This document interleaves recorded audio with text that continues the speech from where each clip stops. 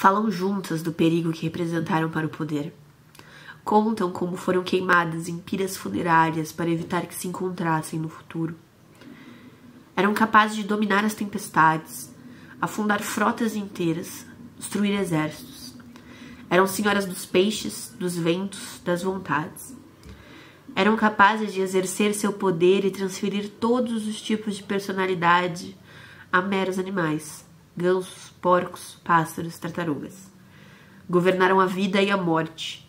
Sua potência conjunta ameaçou hierarquias, sistemas governamentais, autoridades. O conhecimento delas rivalizou com êxito com o conhecimento oficial ao qual elas não tiveram acesso.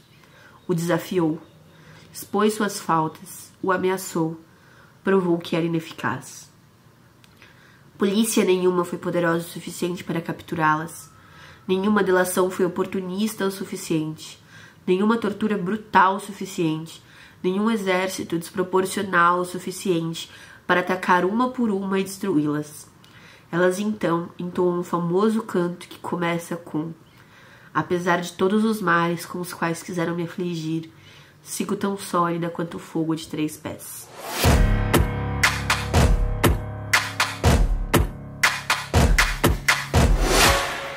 Bem-vindos ao B de Barbário. A gente vai falar então de As Guerrilheiras de Monique Wittig, publicado no Brasil pela Ubu, com tradução de Jamile Pinheiro Dias e Raquel Camargo. Esse livro aqui é um livro e tanto para se falar. Primeiro, queria começar dizendo que a Wittig é uma das teóricas feministas uh, iniciais, né? Uma das primeiras teóricas feministas ali da segunda onda, uma das responsáveis pelo início da produção teórica queer dentro do feminismo. E é bem interessante porque ela faz desse livro um projeto muito político. E talvez seja por isso que eu tenho me encantado tanto pela proposta que a Vitig traz aqui.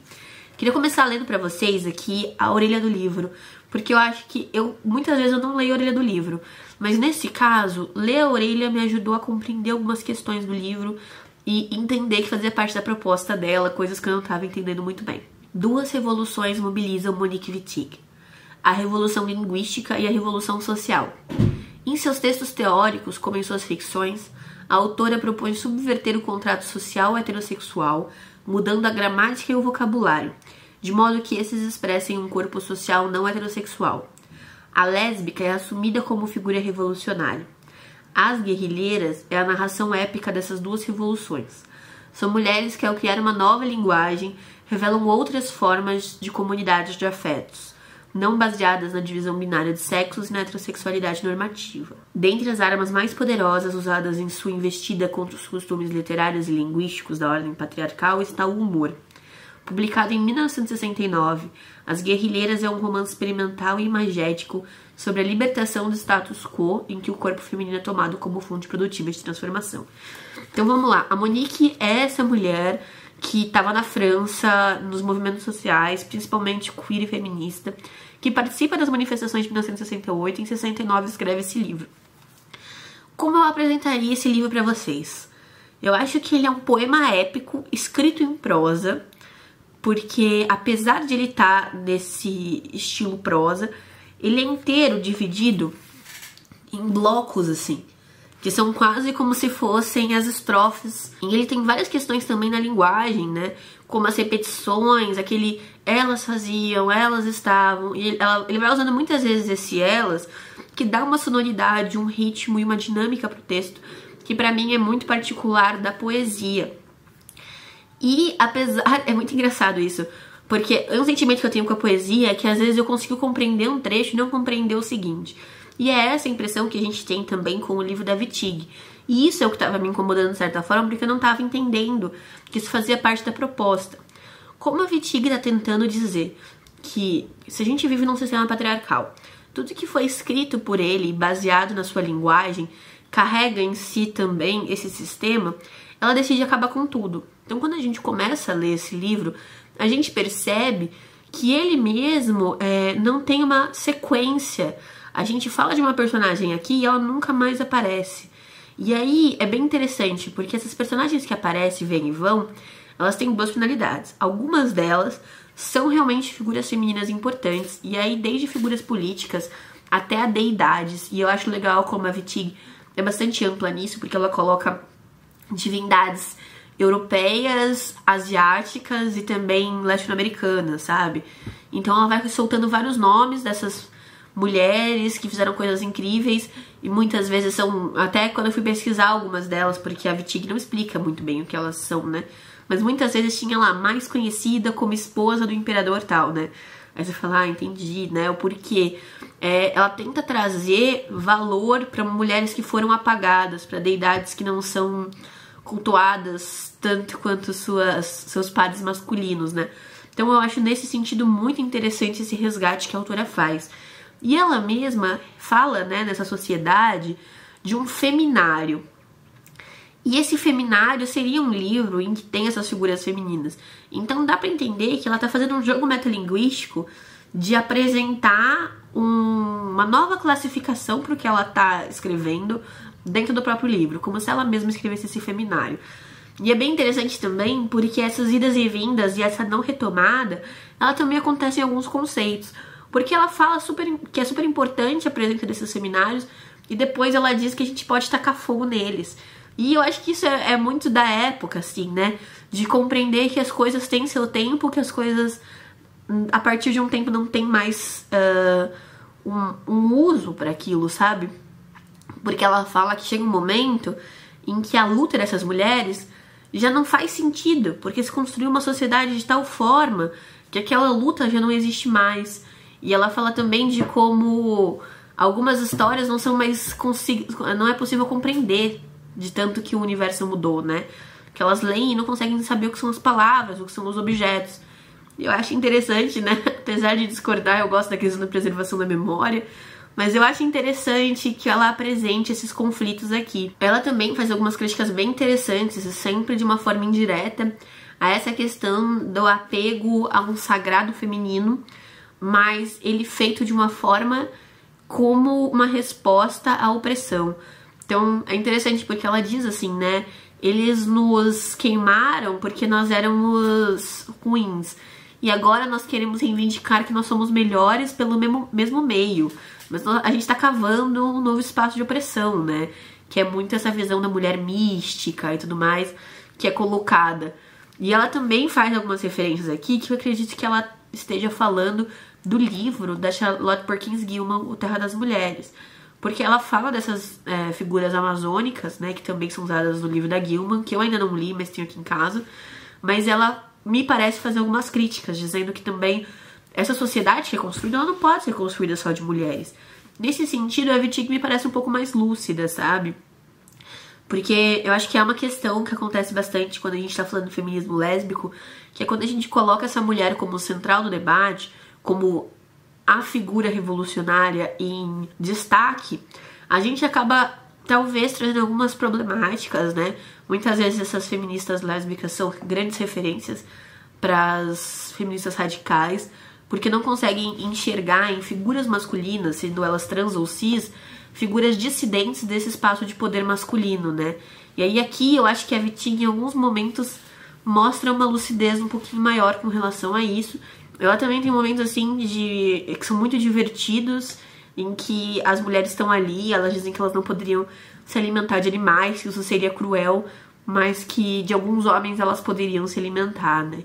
Então, é, e ela faz isso assim, o texto dela é divertido. Quando você lê, você dá aquela risadinha e fala assim, errado, porém estou rindo. Ele é um texto complicado, é um texto complexo, mas ao mesmo tempo ele traz muitas reflexões e muitos momentos de. Tanto o trecho que eu li pra vocês no começo, que me arrepiou demais, eu já li ele umas três, quatro vezes desde que eu terminei essa leitura, quanto momentos assim, mais descontraídos e de risada. Esse livro também, na composição dele, eu gostei de como a Ubu manteve isso, ela tem uma divisão em que aparece esse círculo. Isso acontece três vezes e é quase como se representasse uma parede que é mencionada no próprio livro. E esse círculo é uma representação da vulva, que é mencionada, na verdade, em diversos momentos do próprio texto, né? E aí, graficamente, a Ubu fez essa transposição. É claro que a gente pode fazer um debate aqui hoje, em 2021, de como esse vulvocentrismo ao falar de mulheres é problemático, porque é genitalizante. Mas acredito que em 69 esses debates ainda não estavam tão conhecidos, né, ainda sobre a questão da identidade de gênero. Ainda a gente estava no momento em que a patologização era muito forte e era basicamente o viés pelo qual se entendiam os corpos trans. Também tem, no meio desses textos, sim, do nada, aparecem uma lista, aqui ó, em azul, é uma lista de nomes isso aqui, né? Então aqui tem Vera, Yal, Chagab, Ópia, Lúcia, Aud, Edviges, Leone, Agnes, Tâmara, França, Arron, Sorana, Rosena, Sally, Suyen, Kyun, Teresa. Como eu disse, ela sempre vai jogar esses nomes, né, com as deidades de diversas nacionalidades, de diversos espaços do mundo. E eu li esses nomes como memorial, né? Como um espaço de homenagem às mulheres que tombaram, sabe? Né? Tombaram antes de nós, seja elas colocadas em piras funerárias, como foi mencionado no trecho que eu li, seja na luta, né? Seja o que for, seja até por velhice, mas mulheres que fazem parte dessa história e que se foram. Então é um grande memorial, é um grande espaço, né?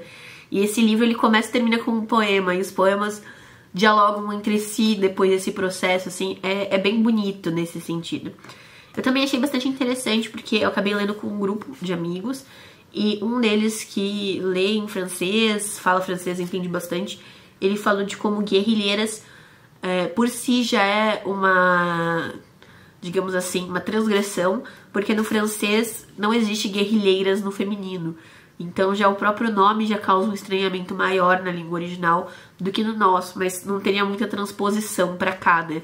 Porque o guerrilheiro não é de gênero neutro como é em francês. Eu achei interessante também trazer isso.